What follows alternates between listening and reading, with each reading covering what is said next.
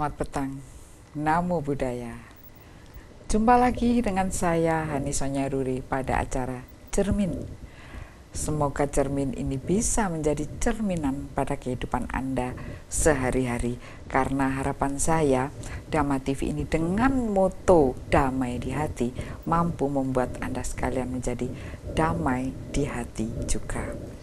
Dan tentu eh, kedamaian itu adalah dambaan setiap orang. Buktinya, setiap orang tidak mau ada masalah, setiap orang tidak mau ada problem, setiap orang tidak mau ada sesuatu yang mengganjal di hati sampai-sampai tidak bisa tidur. Nah ini tentu kadang-kadang kita jadi berpikir, aduh iya ya saya ingin damai, saya ingin tidak punya masalah. Tetapi kadang-kadang tanpa kita sadari kita bikin masalah, bikin masalah. Betulkah begitu? Nah ini menarik sekali bukan? Baik, uh, saya tidak sendiri telah hadir di studio. Ini uh, para tamu dari Malang Raya semua ini. Yang pertama Bante Ugaseno dari Wihara Batu, dari Wihara Ngandat Batu. Bante Namo Buddhaya. Namo Buddhaya. Ya, terima kasih sudah hadir bersama pemirsa Dama TV. Dan kemudian ini ada Ibu Suparwati, beliau dari Bedali Lawang. Ibu, selamat petang. Terima kasih sudah hadir di acara Cermin. Tema kita kali ini yaitu tentang kesadaran dalam keseharian. Nah, ini kadang-kadang kita jadi berpikir kesadaran itu yang bagaimana? Sadar ya sadar. Waduh le sadaro saiki. Wes sadar ya nah gitu. Kadang-kadang ketika ada orang pingsan kita juga berpikir aduh sadar sadar begitu. Dan sebenarnya sadar itu yang bagaimana? Ini menarik sekali sebenarnya. Sebenarnya saya ingin lebih dahulu ke Ibu Suparwati ini ya. E, sebenarnya kalau sadar menurut orang awam ya orang awam itu bagaimana menurut penjenengan? Iya, terima kasih.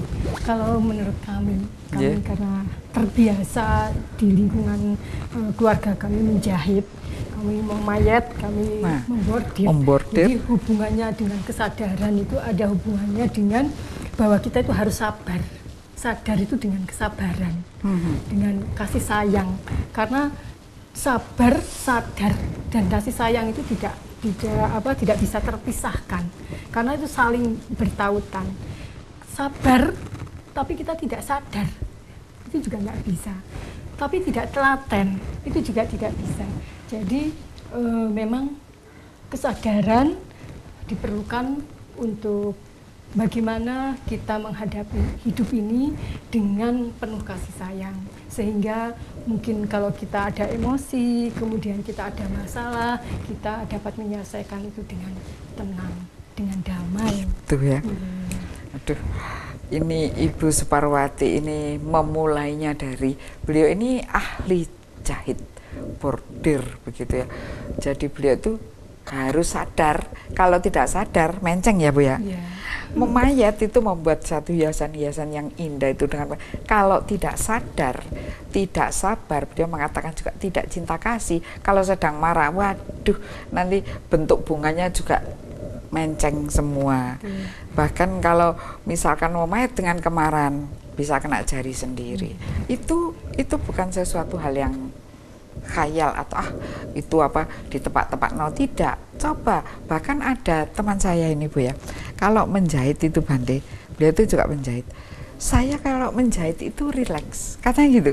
Jadi dia beliau itu di tengah kesibukannya sebagai seorang uh, pegawai negeri ya jadi dia itu pulangnya sudah sore ya kalau kalau orang kan biasanya tiduran atau apa dia tuh duduk kakinya diangkat sedikit dengan anu dia mengambil apa di sebelahnya ini sudah banyak jahitan bante kemudian dia menjahit loh Wong baru pulang kerja kok masih bekerja lagi. Hmm. Kalian tidak tahu bahwa ini adalah menurunkan segala tensi Betul. tadi yang yang ramai gegap gempita di di mana di pekerjaan. Betul. Sekarang saya duduk. Ini indah dan tidak melelahkan Betul. dan uh, di situ ibu mengatakan ada kasih sayang. dan di situ kalau Bante mengatakan ada konsentrasi. Monggo Bante karena hari ini juga hari cap gomek. Monggo Bante silahkan Bante. Ya kepada pemirsa Dama TV yang berbahagia, tentu apa yang telah disampaikan oleh Ibu Wati, ya Ibu Hani, Bu Hani, ya tentu hari ini kita membahas tentang bagaimana kesadaran ini menjadi bagian dari kehidupan manusia pada umumnya. Tentu kalau kita berbicara masalah kesabaran, uh, seperti yang Ibu Wati sampaikan, itu adalah bagian daripada kesadaran. Bagaimana kalau dalam perspektif atau pandangan agama Buddha, tentu Buddha Gautama atau guru Buddha juga menjelaskan pentingnya kita ini harus hidup selalu iling dan waspada. Itu sebagai bagian daripada kesadaran. Sadar di sini adalah lebih dalam, lebih halus tentunya terkait dengan tata pikiran, tata ucapan dan tata laku bagaimana sadar, selalu iling, ingat terhadap apa yang kita pikirkan. Jadi kalau mau ngomong harus mikir, mau berperilaku ingin bersikap kepada orang lain harus mikir. Nah, ini adalah bentuk bagaimana sadar ini adalah mengerem, mengendalikan bagaimana pikiran ini agar selalu waspada, selalu ingat bahwa apa yang dipikirkan itu baik atau tidak, apa yang diucapkan itu baik atau tidak, yang dilakukan itu baik atau tidak sehingga tidak menyakiti, melukai bahkan mencelakakan makhluk lain maupun diri sendiri. Nah, Bante, zaman sekarang ini ada loh Bante. Istilahnya kalau hoax, ya ini hoax ya, hoax tapi anak hoax deh. Itu bisa terjerat fatsal sekian sekian sekian. Mengapa orang sampai uh, membuat hoax itu tadi Bante bagaimana? Ya, pemirsa Dama TV, tentu kalau kita melihat ya sekarang adalah zaman now, zaman modern, apa pun semua serba instan. Orang tidak mau repot, tidak mau capek, tidak mau pusing. Mereka hanya percaya begitu saja dengan membuta tanpa melakukan analisa, tanpa melakukan riset penelitian, ya tanpa mengkaji ulang lagi, mereka menelan bulat-bulat, menelan mentah-mentah berita yang tidak benar. Karena apa? Karena kebodohan kalau manusia itu cerdas, manusia itu pintar, manusia itu bijaksana, dia mampu memilah mana yang baik dan mana yang tidak baik. Tentu di sini peran agama kita masing-masing perlu ditegakkan untuk bisa menjadi penyaring berita-berita yang tidak baik menjadi yang tidak baik, yang mana baik itu adalah sebagai hal yang baik. Tentu kalau berita yang sifatnya baik adalah berita yang membawakan manfaat bagi banyak orang, bukan untuk kepentingan politik tertentu yang justru mencelakakan atau menjerumuskan orang lain. Itulah namanya berita yang sehat. Berita yang menyejukkan hati. Itu berarti berita itu mempunyai kriteria persyaratan berita itu baik bagi saya dan baik bagi orang lain. Baik bagi orang lain iya. dan baik bagi semuanya, Bante. Betul. Iya. Berarti itu itu berita yang menyejukkan hati, Bante ya. Tidak menakut-nakuti, hmm. tidak meneror, tidak menjatuhkan orang lain atau komunitas lain. Nah, ini namanya berita yang tidak sehat. Hmm apakah untuk membuat satu berita yang sehat itu Bante diperlukan kesadaran Bante? Ya, contoh kalau kita melihat bagaimana seorang reporter, seorang narasumber, ya apa pun itu, tentu bagian komunikasi publikasi ya harus mampu cerdas. Dibutuhkan kebijaksanaan, dibutuhkan istilahnya kesadaran bagaimana cara menganalisa percakapan, bagaimana menganalisa tulisan dalam surat kabar dan lain sebagainya, ini juga butuh yang namanya kesadaran. Kalau tidak sadar, sembrono. Tidak sadar, bisa kecelik istilahnya gitu ya. Kecurian apa? Kecurian dari ketidakfokusan yang dia miliki itu. Nah, ini dia. Wah, ini jadi jadi rasanya terjadi pada diri saya. Kemarin tuh saya keplecok. Nah, itu ya kadang itu bisa ya Bu ya di, diartikan hati-hati bicara nanti kalau keplecok bicara maka Anda bisa kena masalah. Nah, saya ini keplecok bener ini Bante. Karena juga begitu, saya kurang waspada. Nah, ini e, ketika saya berjalan saya sedang dengan nah ini ber HP begini ketika ada jalan turun sedikit saya lupa di situ nah di situ terjadi akhirnya yang menanggung diri sendiri ternyata kewaspadaan itu kewaspadaan kewaspadaan itu rasanya kok di atas kesadaran Bante bisa diterangkan Bante tentu kalau kita berbicara pemirsa Dama TV sebenarnya semua manusia ini kalau secara ilmu biologi memiliki otak. Sehingga otak inilah yang yang menjalankan fungsi terhadap organ-organ tubuh. Maka dikatakan otak ini adalah sebagai sesuatu yang vital sehingga perlu dijaga dengan baik.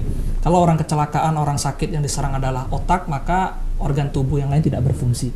Sehingga kalau kita berbicara dalam Buddhisme, di dalam otak itu ada pikiran.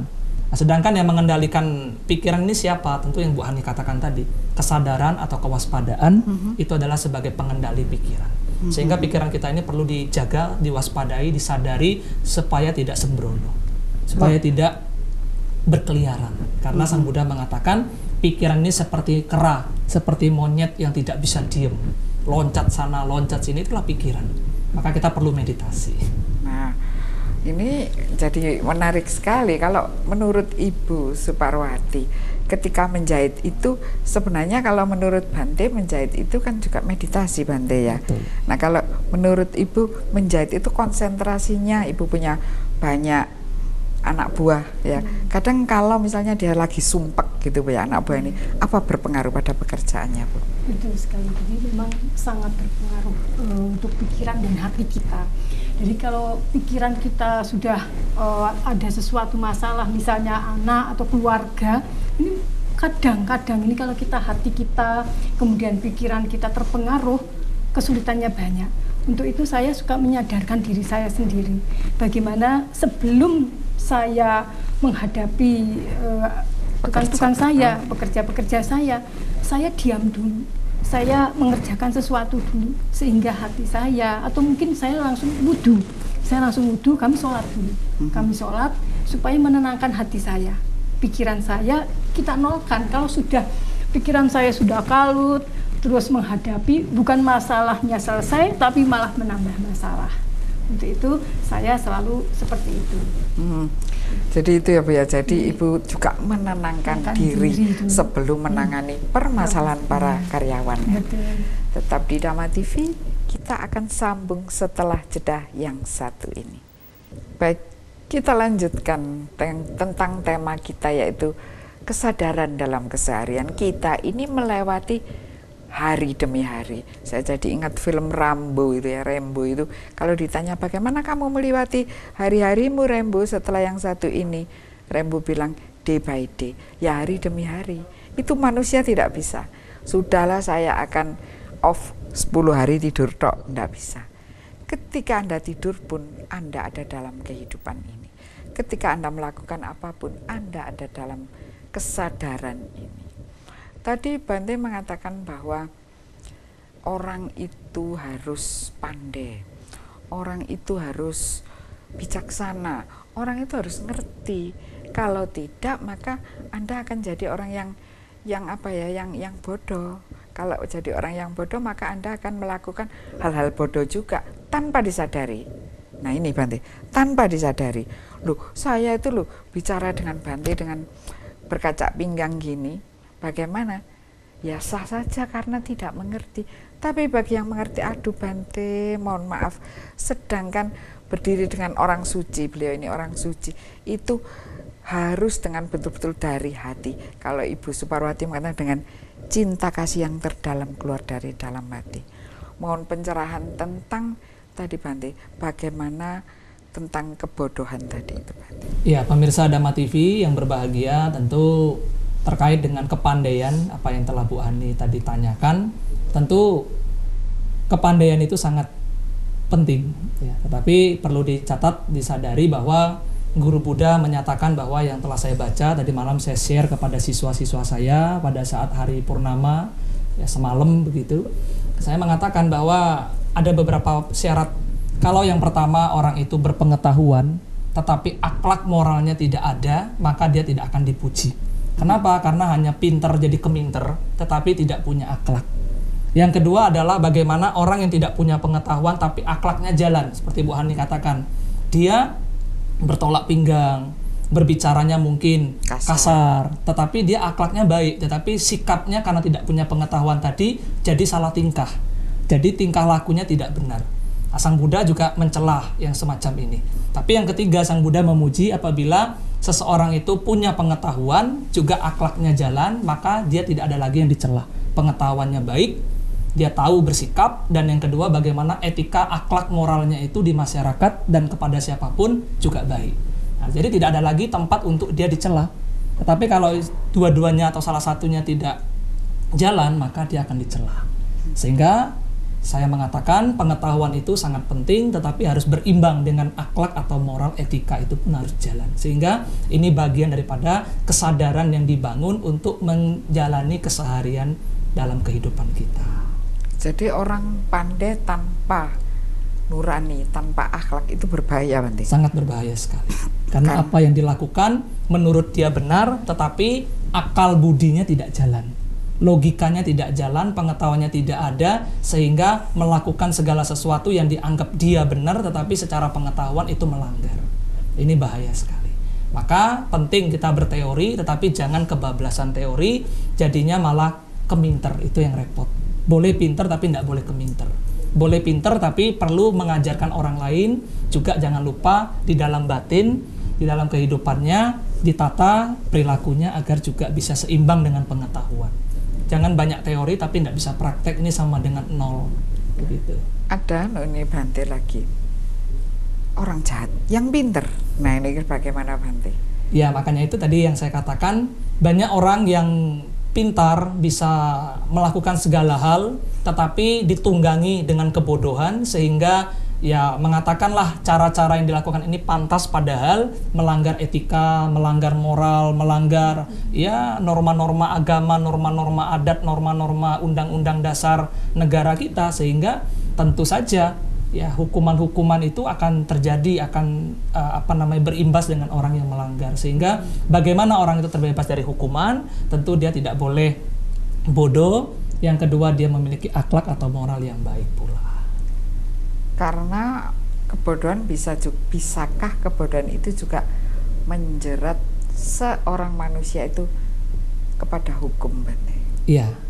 Kalau kita melihat ya kan ketidaktahuan, kebodohan batin ya tidak bisa membedakan mana yang baik dan mana yang tidak baik, mana yang merugikan, mana yang menguntungkan, mana yang bermanfaat, mana yang tidak bermanfaat. Ini akan menjerat seseorang itu menjadi melakukan tindakan-tindakan yang tidak baik, yang tidak terpuji. Ya, ini juga salah satu tiga kotoran batin manusia adalah yang pertama kebencian, yang kedua adalah keserakahan, yang ketiga adalah kebodohan atau kegelapan batin. Ya, kegelapan batin ini bukan intelektualnya yang bodoh, tetapi batinnya itu gelap. Tidak tahu mana yang baik dan mana yang tidak baik. Sehingga dia membenarkan segala cara untuk mendapatkan sesuatu. Ini yang tidak boleh dilakukan. Kegelapan batin. Kegelapan batin ini rupanya banyak orang gelap batinnya ya Bu ya. Tapi kadang tidak merasa. Karena dia segera mencari satu alasan. Saya akan mencuri, tapi kan untuk keluarga, untuk anak-anak saya. Nah, kadang ayo, siapa yang akan kasih makan keluarga saya? Dan bentuk-bentuk semacam itu banyak loh Bante. Saya akan mencontek karena saya harus lulus kalau enggak saya akan hancur masa depan saya. Saya akan uh, apa menjadi joki untuk ujian karena saya akan mendapatkan uang. Nah itu banyak. Pertimbangan-pertimbangan itu kan kalau dilihat dari sisi sini bagus Bante. Dilihat dari sisi sini gelap Bante. Bagaimana Bante? Ya tentu sebenarnya dasar dari kesemua yang telah Ibu Hani sampaikan tadi, pemirsa Dama TV yang berbahagia, landasan yang paling penting dalam hidup kita ini kita perlu punya wisdom, punya kebijaksanaan. Kalau kita tidak punya kebijaksanaan, kalau orang Jawa mengatakan wicaksono, ya wicaksono itu kebijaksanaan, tentu dia akan istilahnya itu tidak bisa menempatkan kedua kakinya dengan seimbang. Hmm. Hidupnya akan tumpang tindih atau tidak seimbang. Batinnya akan menjadi eh, ragu-ragu, uh, akan menjadi cemas sehingga penting seseorang itu memiliki yang bagaimana dikatakan tadi harus punya kebijaksanaan. Jangan kita membenarkan segala cara untuk memuaskan nafsu indria kita. Mm-hmm. Ini bisa berbahaya sekali. Ya, bagaimana kita ingin puas tapi lakukanlah dengan cara yang pantas, bukan dengan cara yang tercela dan bisa dicela oleh banyak orang.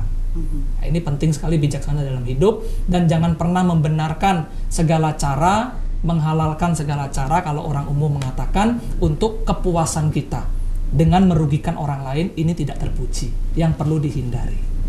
Ya. Gitu ya Bante ya? ya sangat penting sekali.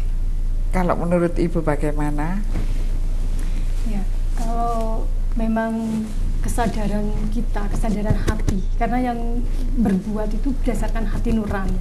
Kalau kita merasakan itu salah, pasti hati kita tuh merasa salah. Apa pun itu, kita pada saat kita keadaan terdesak, misalkan, karena pada suatu saat kita dalam keadaan terdesak seperti ibu sampaikan menyontek, gitu kan, karena tidak belajar, gitu kan, membenarkan karena saya dalam keadaan terdesak. Apa pun alasannya, lebih baik nilai nol kalau menurut saya. Lebih baik nol. Saya mengajarkan anak-anak saya untuk jujur. Karena jujur itu adalah uh, yang pedoman pedoman yang pertama dan utama. Walaupun nilai bagus nilai 10 barangkali tapi tidak didasari dengan hati dan nilai yang betul-betul murni untuk apa? Tidak ada manfaatnya. Nilai itu tidak ada manfaatnya. Tetapi kalau memang didasari dari hati, dia tidak akan menyontek. Dia akan berusaha sesuai kemampuannya dia, sesuai dengan apa yang dimilikinya dia. Karena bagaimanapun juga, kalau kita sudah berusaha, kita sudah belajar, kita sudah betul-betul sudah istilahnya pasrah, itu pasti ada jalan. Karena kalau dengan nyontek itu sudah itu sudah melenceng jauh pasti hasilnya juga tidak akan baik. Hmm, ya, ya. Terima kasih. Kadang-kadang men menyontek itu kadang orang sebenarnya tidak pede. Hmm. Dia tidak percaya bahwa aduh betulkah apa yang saya pelajari kemarin itu. Hmm. Bante tadi juga me menyarankan agar untuk meng apa ya me mengoptimalkan pikiran supaya tajam. Bante tadi menyarankan, mengajarkan untuk meditasi. Apa betul itu Bante? Orang banyak yang tidak percaya loh Bante. Masa dengan meditasi saya jadi pandai? Masa dengan meditasi saya jadi bisa membordir? Apa dengan meditasi saya payat saya menjadi lebih baik? Mohon diterangkan Bante. Ya tentu pemirsa Dama TV kalau kita ingin mengkaji tentang kekuatan pikiran kita akan melihat ya secara ilmu psikologi kalau kita berbicara masalah kejiwaan, kita mas berbicara masalah filosofi kehidupan, apa yang Bapak Ibu senangi dalam artian dalam tanda kutip adalah yang baik, lakoni, jalani, rutin, continue. Pasti itu akan menjadi sebuah tabiat, sebuah habit, kebiasaan, nanti akan timbul menjadi sebuah karakter. Hmm, iya. Nah ini Bante ya, ternyata seseorang bisa mencapai karakter dengan terus-menerus, tetap tidak mati. Baik, kita lanjutkan bincang-bincang kita. Jangan lupa keluarga Dama TV, kami buka di line telepon di 0341 402777, SMS di 08510 701 8802 dan WA di 08775 9907102. Kami persilahkan. Pumpung temanya menarik yaitu kesadaran dalam keseharian. Jadi ternyata setiap manusia itu dibutuhkan sadar, eling, lan waspada. Nah ini menarik sekali. Jadi uh, berkah utama juga hari ini karena bisa bertemu dengan Yang Mulia Bante juga menjadi senang hati saya karena bisa berkenalan dan bertemu dengan Ibu Suparwati orang yang sangat lemah lembut dengan putra putri yang sudah jadi semua jadi dokter semua luar biasa Ibu ini. Ibu silahkan mungkin ada pertanyaan-pertanyaan kepada Biku silahkan Ibu. Saya izin bertanya Biku untuk menyikapi ya. kita hidup bermasyarakat kita di lingkungan yang majemuk ada yang Islam Kristen kemudian ya karena kita memang Pancasila. Untuk untuk uh, kehidupan dalam bermasyarakat ini lebih baik uh, barangkali bagaimana untuk menyiasati. Silakan. Itu kepada Ibu Wati dan Bu Hani serta seluruh uh, sahabat Dama TV ya. Tentu bagaimana saya juga sejak waktu menjadi umat jadi Samanera bahkan sekarang saya menjadi biku. Ya di sekeliling saya semua adalah orang-orang yang memiliki keyakinan yang berbeda tetapi kami rukun. Dan saya juga mengikuti berbagai kegiatan lintas agama. Sehingga kami dengan para tokoh-tokoh sering bertukar pikiran ya kami sering diskusi kami sering sharing bagaimana untuk mewujudkan yang namanya uh, kerukunan antar umat beragama, menegakkan NKRI di negara kita ini yang sudah mungkin ada uh, apa namanya upaya yang ingin menggoyangkan NKRI tentu kita sebagai umat beragama harus menjaga erat NKRI ini agar tidak pecah sehingga bagaimana ya kalau saya menyikapi kita harus selalu mencari yang namanya persamaan. Kalau kita mencari perbedaan ya tidak akan pernah ketemu karena satu keyakinan ini dengan keyakinan yang lain akan punya start dan finish yang berbeda. Tetapi apa yang menjadi kesamaan di dalam semua agama mengajarkan kebaikan. Kebaikan-kebaikan yang kita katakanlah kasih sayang, cinta kasih, lemah lembut, tidak sombong, rendah hati, bersahaja hidupnya. Nah, inilah yang dikatakan bagaimana kalau saya pribadi pemirsa Dhamma TV kalau menurut agama Buddha apa yang dikatakan kerukunan saya hanya mengatakan kerukunan itu ibaratkan seperti sebuah rumah memiliki enam kamar bagaimana kalau orang yang diisi di dalam rumah itu tidak pernah kumpul bareng, tidak pernah makan bareng, tidak pernah bertemu bareng, meskipun tinggal di satu rumah dengan enam kamar atau enam saudara, tidak akan pernah rukun.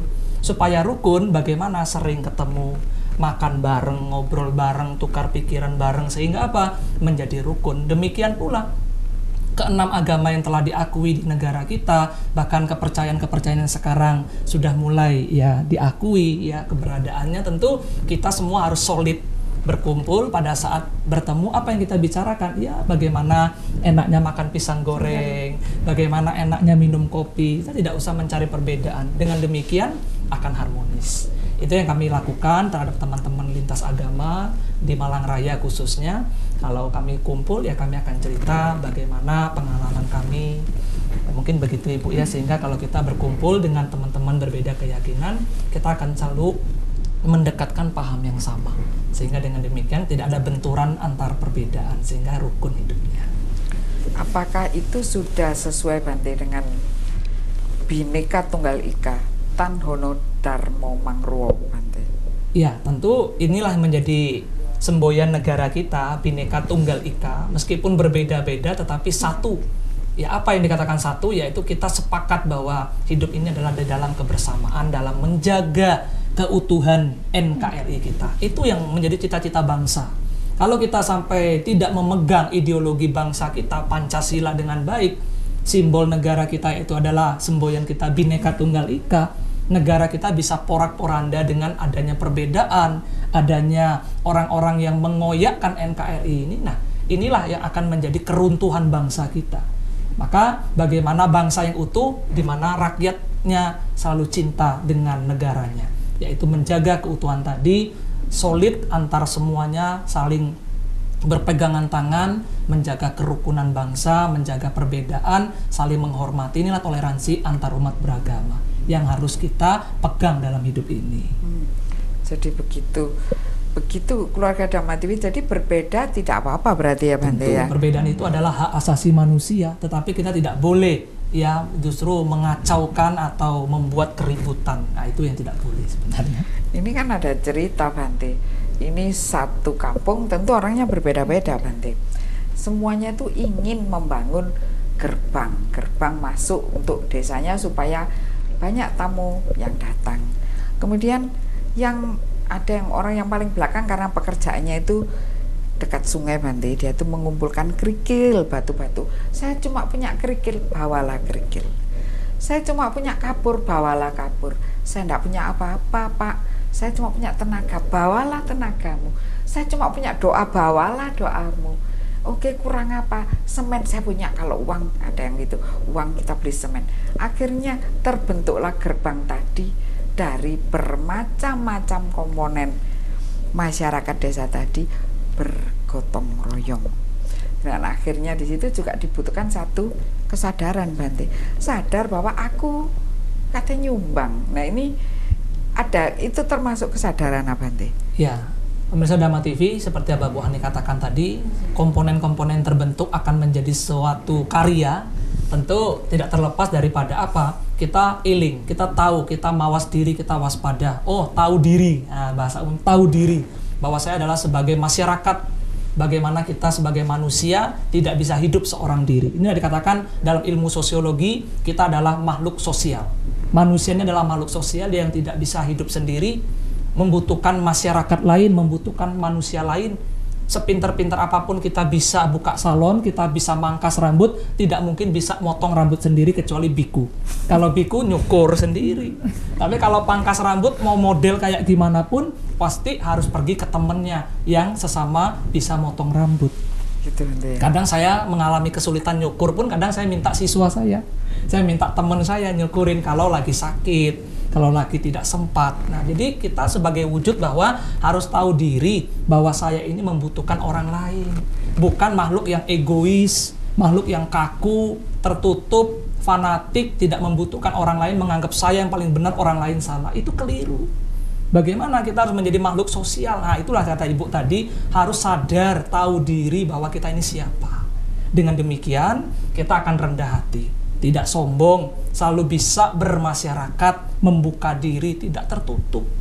Sehingga ini kesadaran yang penting, yang sederhana, tapi kadang sulit untuk dilakukan oleh semua orang. Soalnya kan gini Bante, kenapa sulit? Kan saya lebih senang bekerja dengan kelompok saya. Nah ini kan kelompok saya solid Bante. Kenapa saya harus bekerja dengan kelompoknya Bante atau kelompoknya Ibu Suparwati? Jadi saya ya udahlah saya lebih senang dengan kelompok saya pikiran semacam itu kenapa buruk berarti nah pemirsa Dama TV tentu ya Bu Wati Bu Hani teman-teman di rumah Kenapa saya katakan di sini adalah bagian daripada ketidakbijaksanaan karena itu adalah bagian daripada ego. Keakuan. Wah, aku ini kelompokku ini yang paling baik, yang lain itu tidak baik. Ini yang paling wah, yang itu tidak wah gitu. Eh tapi tanpa kita sadari ini bentuk kekotoran batin, hmm. bentuk keegoisme, paham ego. Karena apa? Ya ini tidak baik. Untuk apa sih? Kita ini kan makhluk yang dikatakan makhluk sosial, makhluk universal tanpa batas, memiliki kasih sayang, cinta kasih. Tentu kita harus merontokkan yang namanya tadi sekat pembatas ke di dalam kemasyarakatan. Supaya apa? Kita bisa diterima oleh banyak orang. Tidak mungkin kita meninggal kelompok kita tok yang ngangkat istilahnya nandu jenazah kita? Kan tidak. Tapi warga masyarakat di desa itu yang akan sama-sama melayat memikul jenazah kita menguburkan kita waktu saat kita masuk ke liang kubur. Tidak mungkin sekelompok kita orang-orang kita saja tidak. Kenapa sih kita harus egois? Kenapa sih kita harus menganggap orang lain itu tidak baik kita yang paling baik? Nah ini tidak boleh. Dengan demikian kalau kita sadar bahwa kita juga membutuhkan orang lain jangan bikin sekat pembatas di dalam kehidupan bermasyarakat, dalam komunitas tertentu, dalam kelompok tertentu, tetapi ayolah kita rangkul sesuai dengan simbol-simbol negara atau semboyan negara kita, bineka tunggal ika tadi. Nah, maka dengan adanya perbedaan tadi seperti pelangi itu indah, bisa dilihat oleh banyak orang. Wah indah. Tidak ada orang lihat pelangi itu cemberut ya mukanya tidak senang pasti saya kapan hari melintas jalan melihat ada pelangi saya senggol teman saya. Ih pelanginya indah loh ya. Apa itu tandanya pemirsa Dama TV perbedaan itu indah kalau tidak dipermasalahkan. Hmm. tidak indah kalau kita mempermasalahkan itu karena berbeda tadi. Itulah arti sebuah kerukunan sebenarnya. Hmm, gitu ya. Jadi kerukunan pun membutuhkan kesadaran. kesadaran Bante ya hmm. gitu ya. Oke baik keluarga Drama TV ini menarik ya kerukunan bila Anda ingin rukun, Anda ingin gotong royong, dibutuhkan kesadaran. Nah, setelah yang satu ini kita kupas lebih dalam lagi, tetap di Dama TV. Baik, keluarga Dama TV, kita lanjutkan bincang-bincang kita dengan tema kesadaran dalam keseharian. Kadang-kadang kalau kita lihat itu jalan kayak pangkalap, nah itu ya. Itu kan kadang-kadang juga kita mikir, oh dia tidak sadar atau kalau kita melihat anak kecil yang masih lima tahun ke bawah itu kita sebut kemratu-ratu. Dia merasa e, ratu dia merasa menjadi raja atau king di mana maka dikatakanlah bahwa e, king never never do wrong. Jadi raja itu tidak pernah salah. Jadi dia e, egonya masih kuat sekali. Dan kemudian lagi nah ini tadi kalau kita melihat jaran kepang yang sedang tidak sadar atau kalap itu dia bisa marah, dia bisa makan beling, dia bisa makan uh, naik ke pohon kelapa tanpa merasa lelah. Nah, di sini kesadarannya ini tertutup karena sesuatu mungkin ada roh yang lain, mungkin ini bisa kita kupas di di segmen yang lain ya Bante ya. Ini kalau Bante yang cerita menarik loh ini tentang makhluk-makhluk uh, dari dunia lain yang mempengaruhi manusia menarik kalau Bante ini cerita. Nah ini luar biasa sekali tadi. Sekarang kesadaran bagaimana kita di dalam masyarakat. Mungkin Ibu Suparwati ada beberapa pertanyaan, monggo silahkan. Izin bertanya Biku. Bagaimana tugas wihara? Seandainya di lingkungan itu ada yang barangkali yang tidak punya gitu ya, yang kurang uh, ya yang di bawah rata-rata dari lingkungan sekitarnya. Itu apa saja yang bisa di apa ya, oleh yang dilakukan oleh Vihara.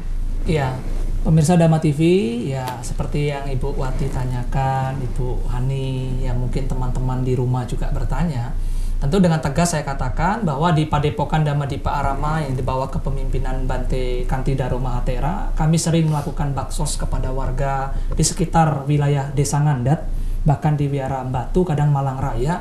Tentu tidak berbatas hanya umat kami saja, tetapi lintas agama. Ya, bahkan di wiara kami juga memiliki sanggar tari ya lintas iman ya itu wirya dhamma dhamma wirya kalau tidak salah begitu nah, itu juga menunjukkan bahwa kami juga punya kontribusi terhadap masyarakat. Kami tidak pandang agama apa pun, yang penting kami membantu dengan welas asih, membantu dengan ketulusan hati kepada siapa pun pembagian sembako khususnya ya, pembagian makanan dan lain sebagainya. Sehingga kami juga punya kontribusi kepada umat kami yaitu kami selalu melakukan pelayanan, melakukan kunjungan anjang sana membacakan parita suci, berceramah dharma atau melakukan khotbah-khotbah kepada umat-umat kami. Nah, dengan demikian ah, bagaimana kami dari agama Buddha atau dari wihara kami memandang ya bahwa kami memang perlu melakukan pelayanan dengan tulus tanpa memandang apa pun jenjang karir yang disandang oleh orang tersebut. Kalau di dalam lebih lingkupnya luas ya Ibu ya kepada pemirsa Dhamma TV, agama Buddha tentu Sang Buddha sendiri sebenarnya merobohkan kasta di dalam agama Buddha. Sehingga di dalam agama Buddha status sosial masyarakat tidak ada lagi oh dia kaya dia miskin. Semua harus dipandang semua sama. Tidak ada perbedaan di mata Sang Buddha. Orang yang datang ingin menjadi biku dari kasta apa pun diterima oleh Sang Buddha. Tidak ada yang dipandang oh dia dari kasta buangan, dari kasta yang tidak terpuji. Tapi oleh Sang Buddha semua diterima. Bahkan ada satu cerita salah seorang biku menerima makanan dari hasil pindah patah. Para biku membawa mangkuk. Ada orang terkena penyakit lepra. Ya waktu itu ada bagian tubuhnya yang jatuh ke dalam mangkuk. Oleh si bante tadi ya dibersihkan. Sisa makanan yang masih bagus tadi dimakan. Tidak ada rasa kejijian tidak ada rasa nek tidak ada rasa marah. Mungkin nasinya atau makanannya dibuang tidak ada. Itu sebagai wujud apa? Cinta kasih kasih sayang Bahkan Sang Buddha mengatakan, barang siapa yang merawat orang sakit sama dengan dia merawat saya. Itu Sang Buddha mengajarkan kepada kami semua umat Buddha, jangan engkau mengucilkan orang lain. Pada saat ada orang sakit, rawatlah mereka, siapa pun itu. Sama dengan engkau merawat aku sebagai gurumu. Itu pesan Sang Buddha kepada kami, para biku, maupun kepada para umat. Nah, itu sebagai bentuk bahwa kita tidak boleh mengucilkan, tidak boleh uh, memandang, memilih-milih untuk berbuat kebaikan. Jadi anda kata ada orang di lingkup desa Ngandat situ yang sakit misalnya Bante ya karena tidak mampu untuk berobat kemudian dia minta tolong misalnya kepada yang mulia Bante Kandi saya mohon diobatkan itu pasti turun tangan biara tentu iya bahkan setiap saat saya lihat banyak sekali orang-orang yang dari mana-mana saya ketahui datang ya membawa bentuk permohonan sumbangan orang sakit ya kan apa saja lah dalam bentuk apa saja sumbangan. Saya tidak pernah melihat guru saya Bante Kanti menolak selalu membantu dengan senyuman dengan ketulusan hati memberikan dana ya setulus seikhlas kami kami memberikan dan orang itu pun bahagia. Apalagi umat kami. Tentu kami tidak tidak apa sih tutup mata, tetap kami bantu bagaimanapun itu. Ya Bante Kanti sebagai guru saya sangat memiliki sesuai namanya Kanti ya kesabaran, welas asih. Ya beliau selalu ringan tangan membantu ya kepada umat-umat memberikan sembako, memberikan pertolongan, perhatian, mengirim samanera tasilani untuk membabarkan khotbah dharma di seluruh Nusantara bahkan ke mana ada permintaan guru kami mengirimkan di mana ada permintaan pelayanan guru kami mengirimkan. Itu sebagai bentuk bahwa Bante Kanti sangat peduli dengan umatnya khususnya di Nusantara ini yang begitu luas. Hmm. ya. Bante apakah begitu itu tidak mengganggu umat awam ya? Misalnya ya sudah kalau menerima ini anda harus mengucapkan doa begini sesuai agama Buddha. Pada begitu Bante? Ya kalau tentu kalau kami tidak ada unsur pemaksaan jadi kalau kami membantu umat kami ya mereka merasa bahagia ya bantu saja bantu saja tidak ada iming-iming nanti dengan kita bantu terus nanti mengharapkan dia harus seperti apa enggak hmm. itu berarti namanya pamrih jadi kalau konteks orang berdana dalam agama kami atau kita melakukan sedekah, beramal, konteksnya kan hanya satu, ikhlas, tulus. Kalau masih belum, kita istilahnya gremeng, kita dumel dalam batin, kita istilahnya marah-marah dalam batin, kok dia tidak ngucapin terima kasih ya? Kok dia tidak tidak senyum ya? Berarti kita belum tulus. Nah, bagaimana pemirsa Dhamma TV kita tulus? Tentu kita berani memberi, ya kita harus berani menanggung resikonya. Soal orang mau balas budi, tahu diri, tahu terima kasih, itu kembali ke individu. Tidak boleh kita marah. Karena orang yang tahu pamrih itu sedikit, orang yang membalas budi itu sedikit. Kita harus membantu tanpa pamrih. Hmm. Nah, itu penting sekali. Ada lagi pertanyaan dari Ibu? Ada satu lagi. Silakan. Kalau di lingkungan, misalnya di lingkungan Bedali, kebetulan Biku di Bedali ini kami di perumahan uh, ada anak-anak yatim. Bagaimana kami, apakah bisa dari apa dari desa kami ini untuk diadakan pelatihan apa barangkali untuk meningkatkan kesejahteraan keluarganya dia karena anak-anak yatim barangkali ibunya ada pelatihan begitu. Kalau seandainya ada barangkali kami akan bagaimana dan caranya bagaimana? Iya. tentu ya kepada ibu ya tentu kita perlu melakukan istilahnya kegiatan-kegiatan kegiatan-kegiatan apa pun itu karena di dalam kami itu punya organisasi ya sangga punya organisasi sendiri. Untuk kepanditaan maga budi punya organisasi sendiri. Ini bapak-bapak biasanya ibu-ibu juga di sini para iya. pandita-pandita. Yang kedua yang ketiga adalah para ibu-ibu Wandani ya wanita Buddhis Theravada Indonesia ibu-ibu Wandani. Ini adalah forum ibu-ibu ya forum-forum ibu-ibu ini bisa nanti berkumpul dengan ibu-ibu lintas agama, lintas iman untuk saling bertukar pikiran. Nah, kami juga ada organisasi kepemudaan namanya Patria, Pemuda Terawada Indonesia. Sehingga dari kesemuanya ini adalah keluarga besar Terawada Indonesia atau KBTI. Tentu di Jawa Timur ada. Sehingga nanti kalau ibu ingin sharing, ingin tukar pikiran, kita bisa saling berkomunikasi. Nanti saya akan kenalkan dengan Ketua Wandani, Ketua uh, wanita Terawada Indonesia untuk khusus Provinsi Jawa Timur atau wilayah Malang Raya. Nanti bisa dikenalkan, ibu bisa sharing bagaimana antar ibu-ibu bisa kumpul, bisa saling sharing lintas iman untuk mengeratkan hubungan tali persaudaraan agar lebih rukun, kita lebih lebih adem ayem lagi. Iya.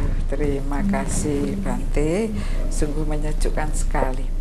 Tentang tema kita kesadaran, Bante tadi mengatakan bahwa ada untuk sadar itu adalah ning, untuk sadar itu adalah meditasi. Nah, tentang ini bagaimana Bante? Tentu kepada pemirsa Dhamma TV, kesadaran itu bagaimana kita akan mendapatkan kalau kita itu hening. Kalau kita tempatnya itu berisik, batin kita itu selalu dipenuhi oleh gejolak batin, kita ini galau, gegana, galau, gelisah, dan merana, bahasa gaulnya, kita nggak akan bisa bahagia. Putus cinta, putus asa, berpisah dengan yang dicinta, berkumpul dengan yang dibenci, itu adalah penderitaan. Tapi bagaimana dunia yang begitu modern ini, sejuta masalah yang kompleks datang kepada kita, kita harus mencari tempat yang sepi untuk menyepi, hening, duduk, melihat batin, menyapa batin, yaitu meditasi Kalau kita selalu rame terus, kapan heningnya? Ibaratkan begini pemirsa Dema TV, kita punya secangkir kopi hitam yang ada bubuknya, ada apa namanya ampasnya. Kita kocok terus kopi itu. Bagaimana kita aduk terus kopi itu? Bagaimana kita ingin melihat ampasnya dengan jelas? Demikian kekotoran batin kita. Kalau kita ingin melihat kopi itu dengan jelas, maka kopi itu kita diamkan, kita heningkan, maka nanti dia akan mengendap kotoran itu, akan dengan jelas kita melihat kotoran itu. Demikian kalau kita duduk hening bermeditasi tenang, kita akan melihat kekotoran batin kita dengan jelas. Demikian kalau kita bisa kita lepaskan, kita musnahkan kekotoran batin itu, maka kita akan sadar, iling, waspada, bijaksana setiap saat. Kalau nggak percaya boleh belajar di sana Bante meditasinya. Iya, monggo dipersilakan welcome kapan saja, tidak berbatas agama apa pun, terbuka untuk umum. Guru kami Bante Kantidaro siap setiap saat dibantu oleh para samanera, para biku untuk membimbing meditasi. Di sana untuk menemukan jati diri yang sesungguhnya. Apakah tidak bertolak belakang dengan agama atau kepercayaan Bante? Tentu meditasi ini kenapa pemirsa Dhamma TV tidak ada doa-doa khusus, tidak ada agama tertentu apa pun yang tidak boleh. Karena meditasi ini tidak doa tapi duduk diam, melihat napas masuk, napas keluar. Ayo coba siapa yang tidak bisa bernapas? Semua pasti punya napas karena napas itu adalah milik kita. Sehingga kita hanya duduk hening, tidak pakai handphone, tidak bicara, benar-benar kita topo broto benar-benar berat badan katanya. Iya. ya ada juga yang meditasi setelah keluar dari padepokan kurus ya langsing. Terutama adalah yang penting adalah batinnya jadi tenang. Jadi orang-orang yang gelisah yang galau yang punya kesibukan ya saya minta harus sisihkan waktu untuk meditasi. untuk hening sejenak untuk melihat menyapa batin. Agar Penting. kesadarannya meningkat luar biasa. Jadi kami persilahkan bagi keluarga Dhamma TV untuk sadar iling lan waspada melatihnya dengan meditasi di wihara Ngandat.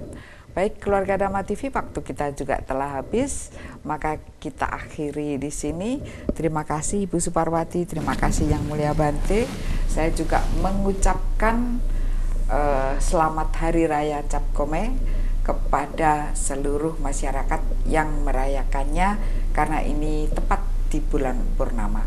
Baik, saya akhiri sampai di sini. Saya Hani Sonya Ruri beserta seluruh kerabat kerja mohon pamit sampai jumpa pada Jumat yang akan datang. Jaga hati, jaga kesadaran agar Anda selalu damai di hati. Namo Buddhaya.